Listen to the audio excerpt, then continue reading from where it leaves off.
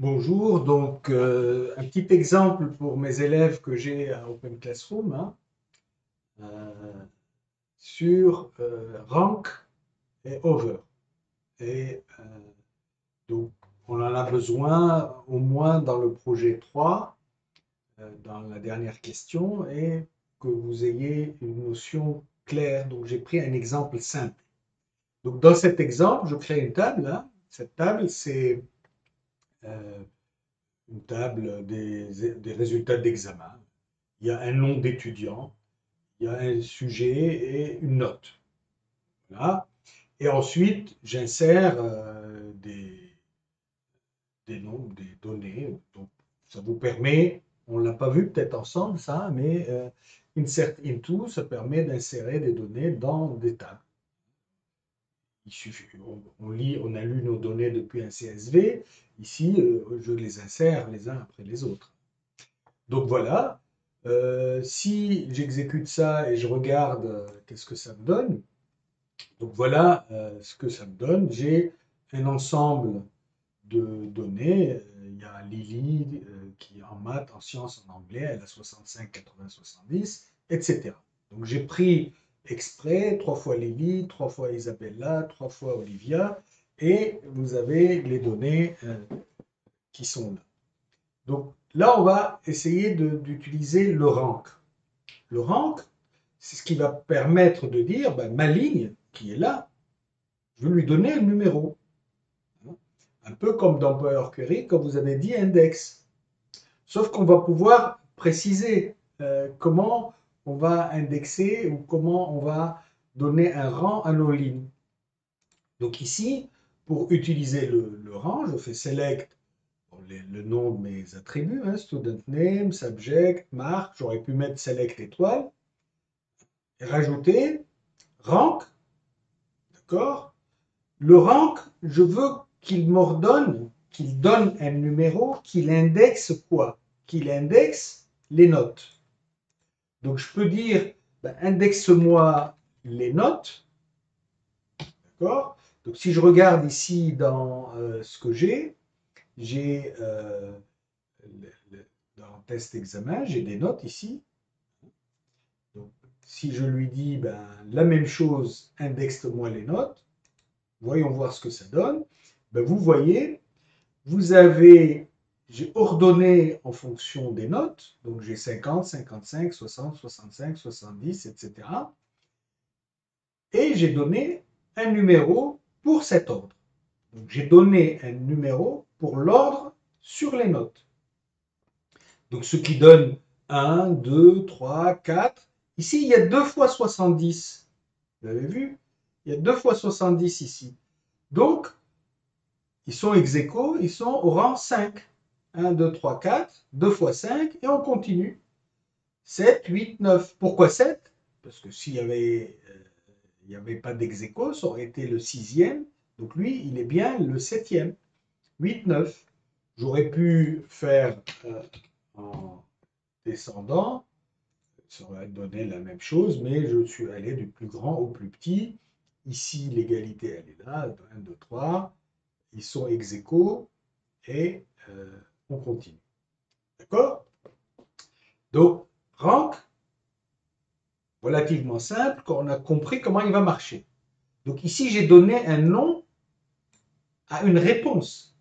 Attention, hein, row number, ce n'est pas un attribut de la table examen résultat. Ce n'est pas une colonne de l'examen résultat. C'est un champ calculé à partir de la table examen-résultat. Et ça, ça a de l'importance, hein, la, notion d'attribut calculé, de champ calculé et de champ de colonnes qui existent à l'intérieur de la table. C'est ce qui fait la différence quand vous aviez des where, c'est ce qui fait la différence quand vous faites des group by et vous faisiez du having.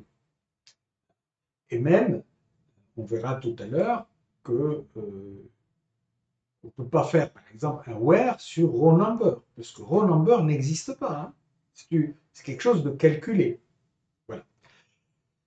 Euh, maintenant, je vais utiliser la notion de partition. La partition, je vais grouper cette fois-ci je vais faire le même ordre que tout à l'heure, mais je veux, pour chaque partition, avoir une numérotation séparée. Ici, je vais faire la partition sur le nom des étudiants.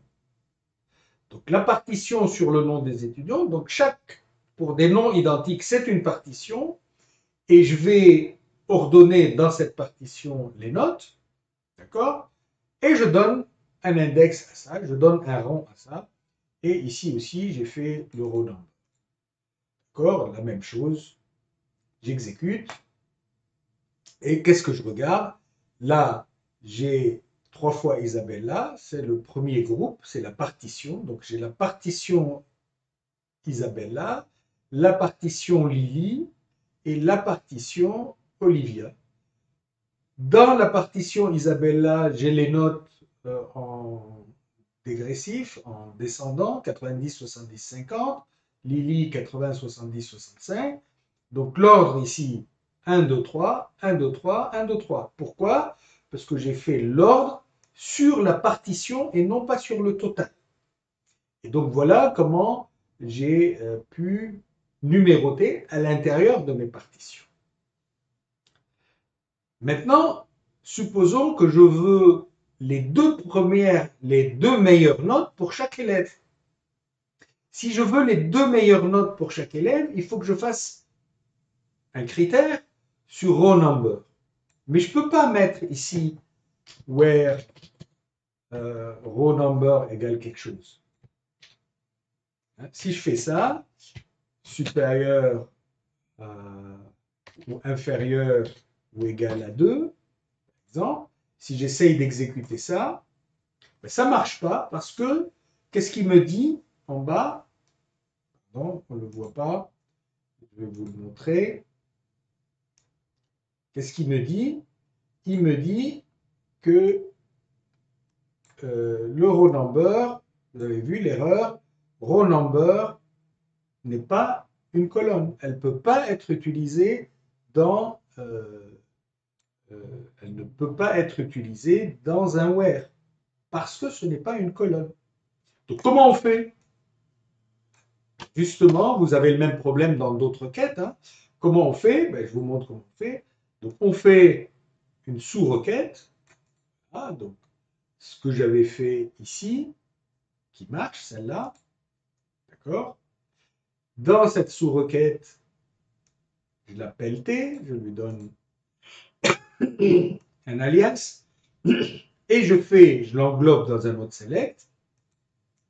D'accord? Select from, ça c'est la table T. La table T, c'est ce résultat-là.